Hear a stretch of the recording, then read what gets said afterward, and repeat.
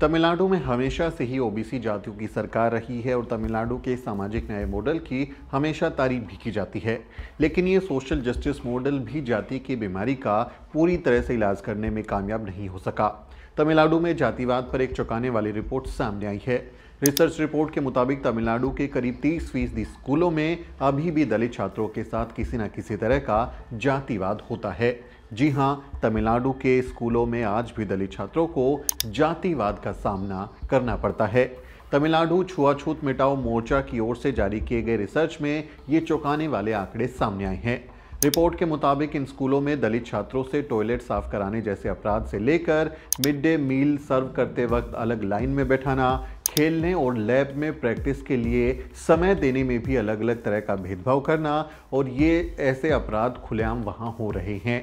कुछ स्कूलों में तो ये भी सामने आया कि दलित छात्रों को अपनी पहचान के लिए कलाई में किसी तरह का धागा या गले में चेन वगैरह पहननी पड़ती है ताकि उन्हें दूर से ही देखकर हिंदू जातियाँ समझ जाएँ कि वो छात्र दलित हैं। तमिलनाडु के तिरुनवेली में बारहवीं के दलित छात्र पर हुए जानलेवा हमले में, क्योंकि ये उनके क्लासमेट्स ने ही किया था, उसके बाद ये सर्वे किया गया था। इसमें 36 जिलों के 441 स्कूलों में 641 दलित छात्रों से पूछा गया कि क्या उन्हें अपने स्कूल में किसी भी तरह का जातिवाद झेलना पड़ता है। 441 छात्रों में से एक सौ छप्पन छात्रों ने यह स्वीकारा कि हाँ उनके स्कूल में उनके साथ टीचर और सहपाठी यानी उनके क्लासमेट्स जातिगत भेदभाव करते हैं। रामनाथपुरम कड्डोलर तिरुवन्नामलाई, तनकाशी डिंडीगुल जैसे 25 जिलों में छात्रों के बीच जातीय झड़प के मामले सामने आए, यानी टकराव हुआ है। दलित छात्रों पर हमले हुए हैं। 15 स्कूलों में दलित छात्रों की बाकायदा ड्यूटी लगाई गई है कि स्कूल के टॉयलेट उन्हें साफ़ करने हैं। अब ज़रा सोचिए, उस बच्चे के दिलो दिमाग पर इसका कैसा असर होता होगा, जो घर से गया तो पढ़ने के लिए है, लेकिन क्लासरूम में उसका टीचर उसका नाम और उसकी जाति का नाम लेकर बोलता है कि जाओ टॉयलेट साफ़ करो। कैसे उसकी ही क्लास के छात्रों से हीन भावना से देखते होंगे?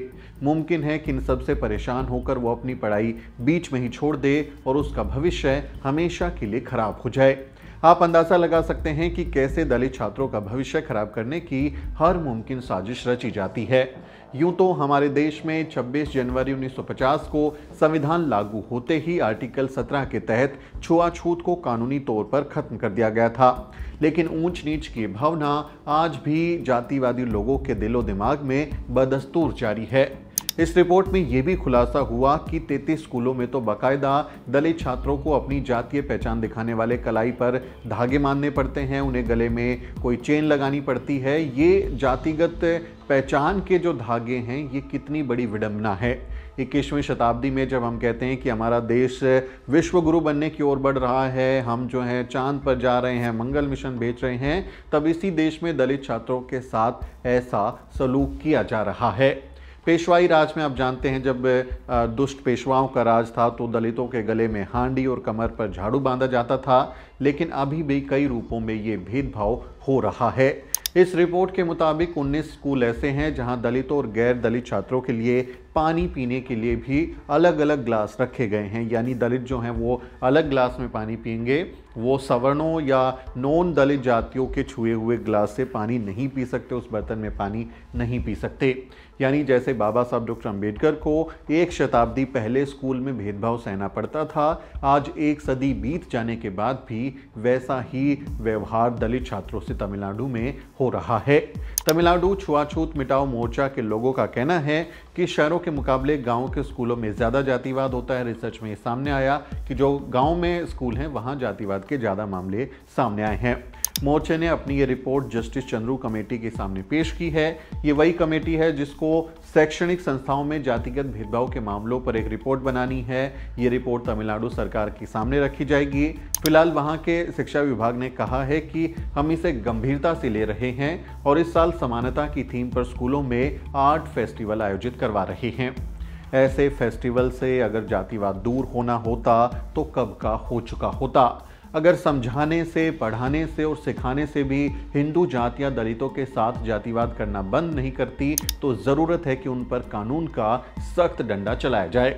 ऐसे छात्रों को स्कूल से निकाल देना चाहिए, जो स्कूल में जातिवाद करते हैं।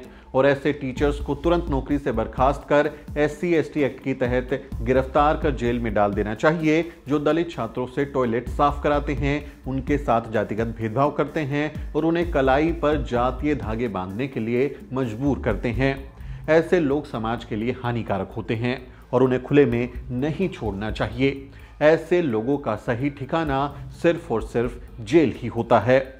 इस रिपोर्ट ने तमिलनाडु की स्टालिन सरकार पर भी गंभीर सवाल खड़े कर दिए हैं। दरविड मॉडल के सहारे सामाजिक न्याय की जिस इमारत को खड़ा किया जा रहा है, क्या उसकी नींव में दलितों को यूँ ही कुर्बान किया जाता रहेगा? तमिलनाडु सरकार को इसका जवाब भी ज़रूर देना चाहिए और सरकारी स्कूलों में जातिगत भेदभाव पर तुरंत एक्शन लेना चाहिए। इस बारे में आपकी क्या राय है? ये जो खबर हमने आपको बताई है, उस पर आपका क्या सोचना है? कमेंट करके ज़रूर लिखें। आपसे अपील है, वीडियो को शेयर करें, क्योंकि मनु मीडिया के लोग ऐसी खबरें नहीं करते।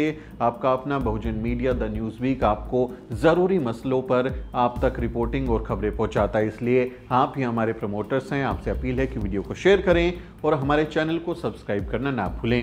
वीडियो के अंत में आपसे एक छोटी सी अपील। साथियों, अगर आपको द न्यूज़ बीक का काम पसंद है और आप चाहते हैं कि हम यूँ ही अम्बेडकरवादी पत्रकारिता करते रहें तो हमारी आर्थिक मदद ज़रूर करें। आप अपनी स्क्रीन पर दिखाई दे रहे इस क्यूआर कोड को स्कैन करें और न्यूज़ बीक फाउंडेशन के खाते में अपनी दान की राशि भेजें। क्यूआर कोड के अलावा आप यूपीआई के ज़रिए भी मदद कर सकते हैं। आप हमारी UPI ID news week at the rate yes bank पर भी मदद भेज सकते हैं। इसके अलावा आप हमारे अकाउंट में भी मदद भेज सकते हैं। खाते का नाम है news week foundation account number है zero two three five double eight seven double zero double zero zero six four zero I F S C code है yes B double zero double zero two three five bank का नाम yes bank है और branch है Nehru palace Delhi आप donation के एवज में इनकम टैक्स में भी छूट पा सकते हैं। डोनेशन की रसीद पाने के लिए ट्रांजैक्शन का स्क्रीनशॉट हमें भेजें। टाइप करें डोनेशन स्पेस आपका नाम और हमें eight five nine five seven nine four two two four पर व्हाट्सएप करें।